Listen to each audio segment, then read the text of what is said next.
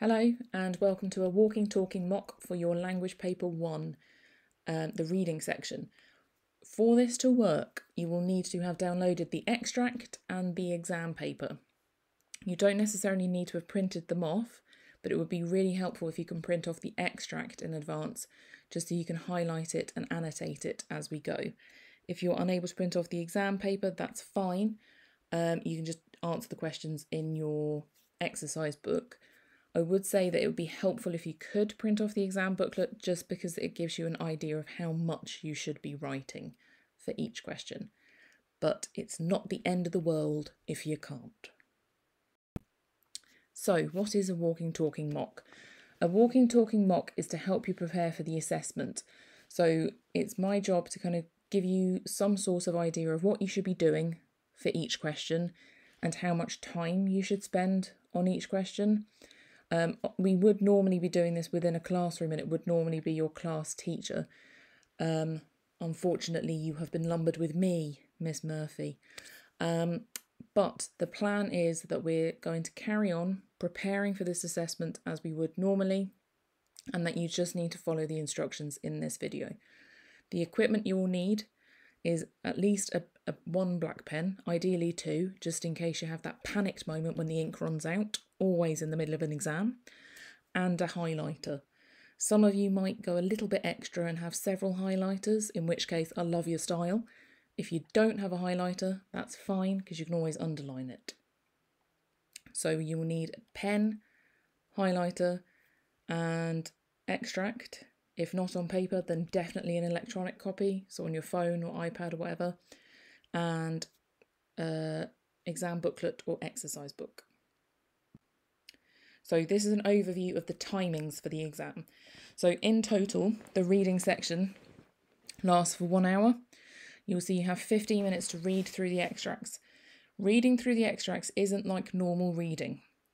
It isn't like you're reading a book and you're continuing on to the next page you only have a short part of this extract of the story, even. And so you really need to make it your own. You really need to understand it really thoroughly and annotate the extract itself with kind of prompts of who the characters are, what's happening to them, where it's set. Really make sure that you have a really thorough, in depth understanding of what happens before you go on to answer any of the other questions. This is testing your reading skills. So don't rush and skimp on the part which is testing. Um, your understanding will be assessed through your ability to retrieve information in question one, analyse in questions two and three, and to evaluate in question four. And ideally, those 15 minutes would be spent with you understanding the extract, which is kind of like your lowest reading skill, and then being able to infer information, building on that for your analysis, and finally your evaluation. So you're using those 15 minutes to kind of think about what's happening in the extract firstly. When you have that understanding secure, then you are thinking about how you can use this remaining time, if there is any, to plan for the future questions. So look ahead at the questions on the exam paper and think, right, what can I use for this question? What can I use for that question? So, what we need to do now is to work through these steps. So you will have 15 minutes where you have predicting. So you're looking at the title of the extract. What's it called? What's it got in the little synopsis box? What information do you learn about what might happen in that extract before you even start reading it? Then read through it. Are there any words you're unfamiliar with? Can you figure them out from the sentence that they're in? Can you figure it out from kind of make a guess about what it might mean based on what's happening around it? Start questioning the extract. Who are the characters? How do they know each other? Who is talking? Make sure that you understand and are following the plot. And then at the end of it, just write one sentence to sum it up, to say, sort of, this extract is about. Your summary should not be the same as the synopsis. Your summary should be like a really specific. If you had to tell somebody who has just missed the reading of this extract what happens in it, this is the sentence that you would say to them. So it's just what happens really specific to that extract. So what you need to do now is pause this video, spend 15 minutes reading the extract, thorough understanding of it, look ahead to the questions if you have spare time, If you don't, that's fine. The most important thing that you gain during these 15 minutes is a really secure and thorough understanding of what happens in that extract.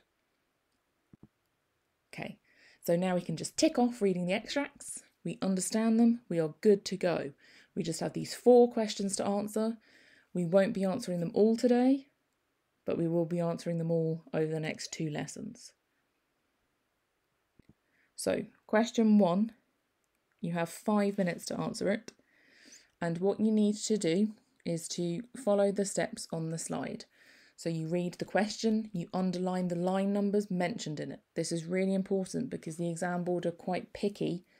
If you give them something which is about the jungle from line 10, they won't give you the mark.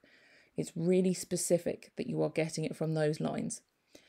Um, underline what you're looking for. So here you're going to be looking for four things about the jungle. Then you need to get your extract and mark on the extract the line numbers that you are finding this information from. So I normally highlight it down the column from lines 1 to 9 and reread those named line numbers. And you are just looking for four quotations which show you something about the jungle. You don't need to change it, you don't need to adapt it. Literally just copy across the quotations. This is a question which is designed to test your information retrieval. It's the equivalent of if you had a cookbook in front of you for a recipe for a risotto and I asked you how much rice we needed and you would tell me 200 grams. And I would write down 200 grams. Don't need to change it, just copy the quotations down and make sure that there are four of them. So you now need to pause this video. You have five minutes to answer that question.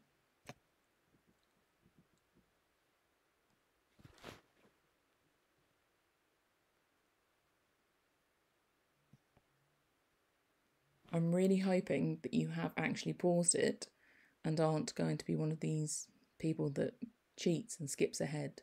So I'm trusting you that you are going to be pausing because here are the answers.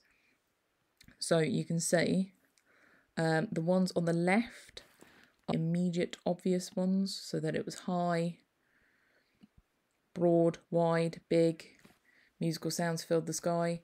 Um, you can then accept. Accept means that it's you've slightly changed it. Um, there are dinosaurs instead of Tyrann- Tyrannosaurus rex. Um, reject these ones in the right column. So these are any things which aren't mentioned in those lines or aren't mentioned in the extract or aren't specific to the question. So if you check through your answers now and give yourselves a score out of four, and then we are ready to move on to question two. So for question two, we're now moving on to more advanced reading skills. So this is where having spent those 15 minutes really making sure our understanding of the extract is secure will come in handy because it's asking us to analyse how the writer has used language. So here we are looking in detail at a specific section of the extract. So we're not looking at the whole extract for question two. Instead, it is asking us to look at lines 16 to 26. And it asks, how does the writer use language here to describe the Tyrannosaurus rex? So we are looking at, when we are analysing language, the words and phrases which have been used, any language features and techniques so that are things like your similes, metaphors, personification. Um, it can be listing, can be triples, uh, repetition, anything where you are thinking about specific words and phrases and how the writer has put them together or chosen them to create a specific effect. In this case, to describe the Tyrannosaurus rex, that all comes under for question two. So, answering this question, you will have 10 minutes to consider any words or phrases here which describe the Tyrannosaurus rex. Once you have highlighted them, you need to ask yourself, well, what impression do I, as a reader, get of that Tyrannosaurus rex? And that's kind of the starting point for your analysis. So, are you supposed to be scared of the Tyrannosaurus rex? Are you supposed to be kind of thinking that it's really cute and they're massively um, got huge bad press and actually a complete sweetie pies. What opinion are you supposed to have? How are you supposed to feel about it? And then using those quotations in your answers, you're aiming to kind of explore and explain how the writer has created that effect. Why have they made those specific word choices to create that effect? Why have they used um, particular figurative language, so particular metaphors or personification? You're unpicking their writing. There's going to be lots for you to say here. So if you are looking for those top, top grades, you almost want to think, right, what is the most obvious answer here? How can I step back and choose something else, choose something a little bit different? If you are aiming for kind of a four or a five, then what we're looking for is your ability to explain your own interpretation of that Tyrannosaurus rex. You are aiming to show the examiner how strong your understanding of that extract is by being able to unpick kind of the, the workings behind it. So you're aiming to write roughly two paragraphs here. If you have the exam booklet, then it will give you some sort of guidance for how long your para- um, your right answer should be. Um, you are aiming to talk about what the Tyrannosaurus rex is presented as, how you know that, so that's your quotations, and why that quotation shows you that. You're aiming to use more than one quotation in your paragraph. Use as much evidence as you can to support your opinion about what the Tyrannosaurus rex is like. And then you're using those quotations to kind of think about the writer's choices that have been made. And you need to do this in 10 minutes. So if you pause the video now and have a go, keep this um, slide on the screen, annotate your extract if you can with what you can note about how the Tyrannosaurus rex is described here, and then have a go at writing your response either in the exam booklet or your exercise book.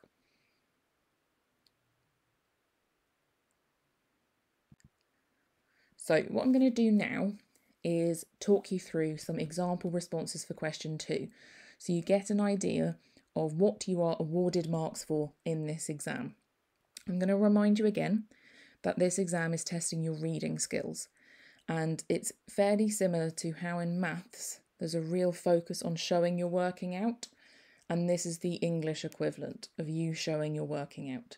That when you read that extract, what did you learn about that Tyrannosaurus rex?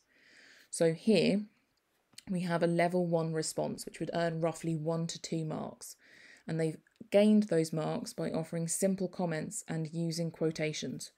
So we have the Tyrannosaurus rex towered 30 feet above half of the trees, and the word towers tells us that it's big. The writer says it is a great evil god and a terrible warrior, so it sounds horrible. You can see the writing in purple is the, the comments that they have made about the quotations. So they're kind of the how and the why, the working behind the extract. So we learn that this candidate knows that from reading that extract, they've learnt that a Tyrannosaurus rex is big and it sounds horrible. It's quite simple comments in terms of actually learning about the dinosaur. And to move up to a level two, they would need to add some inference. And when we're talking about inference, we're talking about reading between the lines. That if it is towering, yes, it tells us that it's big, but it's also it's towering above the trees. So you're bringing up that next level, the sense that it's huge, that it's going to be quite overwhelming. It might be quite intimidating if you're in that jungle, that you're completely covered by this Tyrannosaurus rex a good way to talk about inference is to talk about connotations. And so you're automatically thinking about the reason why the author has chosen a word like towered. So, an example response for level two, where you are attempting to comment on the effect of language, is where you have something like the word towered suggests it is bigger and higher than everything else. The writer uses metaphors to describe it as a great evil god, so it sounds not only big but bad, and also a terrible warrior, suggesting it fights to get what it wants. So here, the candidate has attempted to comment on the effect of language. So we have this idea that they're starting to infer that it doesn't say in the text that it's bigger and higher than everything else, but they read between the lines of the fact that it's towering 30 feet above half of the trees, it kind of is implying that it's higher than everything else in the jungle. You'll also note that despite talking about metaphors, there's still only three to four marks because the comments that they have made about the metaphor isn't particularly strong. So, if you are the kind of candidate who kind of struggles to find your similes and metaphors, then this question is kind of designed to help you in the sense that they're actually, the examiner is looking for your explanation of how and why the language works. So, talking about words and sentences is fine if you're then able to talk about how they have been put together and analyse why they are effective at describing the Tyrannosaurus rex. So, a level 3 response would look to gain 5 to 6 marks, and here we're starting to see a clear understanding of language. So, they are explaining clearly the effect of the writer's choice so we have the verb towered suggests great height, as if it is leaning over everything below in a scary and threatening way. The creature is described metaphorically as a great evil god to suggest its massive size and powerful and wicked nature. This idea is continued with the image of a terrible warrior, implying the Tyrannosaurus rex is a fighter to be feared, prepared to use its strength to inflict damage on its enemy.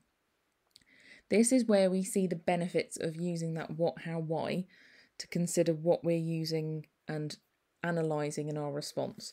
Because we see here, implying the Tyrannosaurus rex as a fighter, that should automatically be kind of your what? That you're sort of thinking, well, what does the writer want me to think about this Tyrannosaurus rex? And you're thinking, well, it's kind of like a fighter, that we should be scared of the Tyrannosaurus rex. And then how they're using language has been explored here. They are starting to explain it in the sense that they are talking about what words mean and what they so here for instance a great evil god to suggest its massive size and powerful and wicked nature it's not quite at analysis level. Because in order to get to analysis is where you are pretty much entirely considering that figurative meaning in an extract so this is a level four response. This is the top level where you would be gaining seven to eight marks out of eight. And this is that analysis response where we have the writer employs an extended metaphor of power and strength to describe the Tyrannosaurus rex. He says it towered over the trees. The verb towered suggesting that the huge creature is imposing itself on its jungle surroundings from a great height and intimidating everything beneath it. It is personified as a great evil god, implying the Tyrannosaurus rex is an all powerful being without mercy, and also a terrible warrior. An image that conveys the idea of an invincible fighting machine destroying everything in its wake. So here you can see their quotations are short. In terms of the terminology, it's kind of used throughout. So we have extended metaphor, um, verb, personified, implying would count as terminology. Um, that it isn't kind of that they are kind of announcing the techniques that the writer have used, but actually that they're using that terminology to explore and explain their interpretation of the extract. That when they're considering the Tyrannosaurus rex, to get into that analysis level, you're considering kind of the metaphorical or symbolic meaning of this creature, and then unpicking how the author has created that symbolic status using language. So, what you are going to do now, which is our final activity of the lesson, is to read through your response for question two. And you are aiming to firstly self assess your response and be honest with this. What level do you think best um, describes your response? There are mark schemes at the back of your extract booklet. So that is the mark scheme that the examiners are using to guide their response and to give you kind of a level of how good your answer to question two is. So look through your response. Have you written a detailed explanation of the effects of language? Have you used short, specific quotations which match exactly the point you're trying to make? Have you used subject terminology correctly? and only to support your ideas. So instead of having kind of like tons of different techniques that have been used, that actually your ideas are taking up the bulk of your answer, and then the terminology is only really slotted in to support it. And have you developed your explanation into analysis by considering kind of a deeper meaning behind the descriptions? Um, what we need to do is to use the mark scheme, use the example responses that we've gone through so you can go back and have a look at them on the video to add, change, or remove parts of your response to question two. You are aiming to move up a level if you can, that you're really considering looking at those examples, how you can improve your response. So pause the video, look back, read through your answer, aim to improve it. If you have a green pen, use it. If you don't, it's not the end of the world. The aim is that you are reflecting on how you can improve your response to question two. As ever, if you have any questions about any of the content raised in today's lesson, please contact your class teacher or you can contact me directly so I can explain what I was whittering on about. My name is Miss Murphy. Um, otherwise, have a lovely day.